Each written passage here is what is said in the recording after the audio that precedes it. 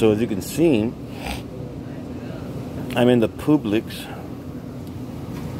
And I'm also on some sort of BS diet that um, Tia put me on. So that's why you see all this lettuce and greens and stuff like that.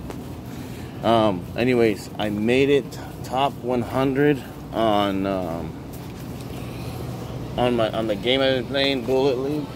I'm top 100 right now, and so I'm gonna make a video on that. Um, when I get back to the house, but it took me a long time. Uh, hopefully the new season starts. This is a, season eight is the first season that I've been on in the game.